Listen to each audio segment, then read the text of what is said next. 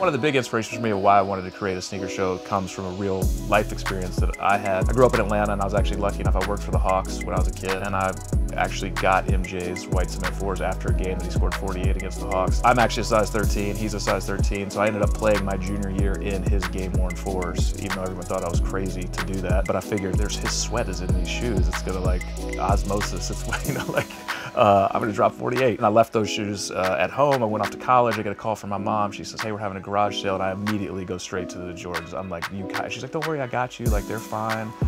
Come home that summer, I go to open the box to check on them, and there's like a pair of Air Force 2s in there. She has sold uh, my game worn fours.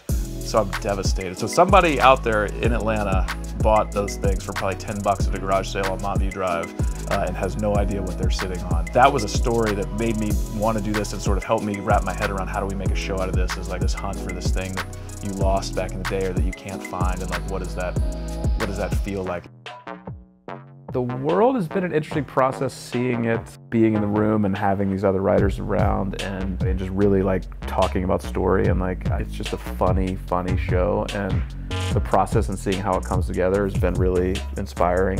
Handpicking the writers that we wanted and we liked. We've been able to visualize something, put it into action, and now we're laughing every day in the room. We're creating original stories original characters. Hi, I'm Rose McAleese. I'm Kara Brown. I'm Jason Belville. My name is Carl Tart, and I'm a writer on What Are Those?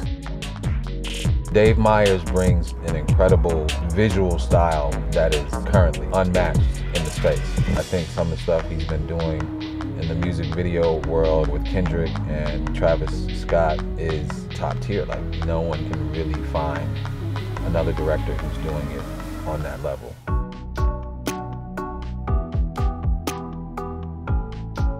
Devin is a father now. He's five years clean of his shoe addiction. He's changed his life, doing it for his kids and his wife now. But uh, he's starting to get the sneakerhead itch again. That kind of leads him down a, a, rabbit hole of destruction when he runs to his best friend Bobby. You should definitely get something else. What are you talking about? That's exactly what she told us not to do. A pussy says what? What? What? My favorite character, I think, from First Day, and which hasn't changed, is Bobby. He is optimistic. He has a dream that he set his mind to. He has a hobby that he likes. He's a nerd about shoes. He's that guy that's so funny but doesn't know it. As soon as I read the breakdown for him, I was like, oh, I want to pitch jokes for this guy. Oh, hey, didn't see you there.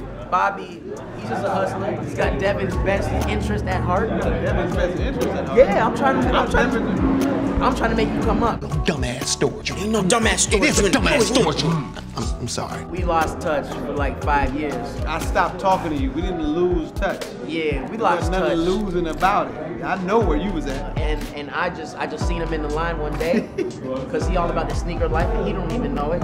And then we rekindled our friendship, and now we best no, friends we again. didn't rekindle nothing. I, I seen you again. That don't mean we. No, we not back best friends. There's always two sides of the story, and my side is the right side. We no, best friends. No, no, no, no, no. Hey, what's up? It's me, Bobby P, aka Bobby the Butcher, aka Bobby Williams, aka, AKA Bobby. Random Boulder that thinks I actually give a shit who he is. Dope shirt, by the way. Oh, this? Oh, thank you. I appreciate it. I'm fucking with you. It's hideous. Nori has got to be my favorite right now.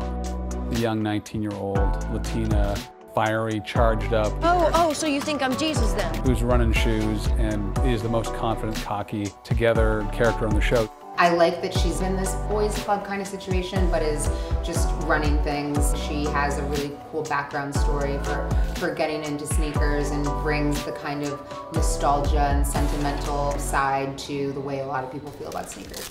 It'd be cool to paint a picture of this culture. It's a culture that it's hard to necessarily understand if you're not into it. So I think that the show will do a really cool, very funny job of opening that curtain and, and showing what's going on with all that. You pull this off, you'll go home a fucking hero.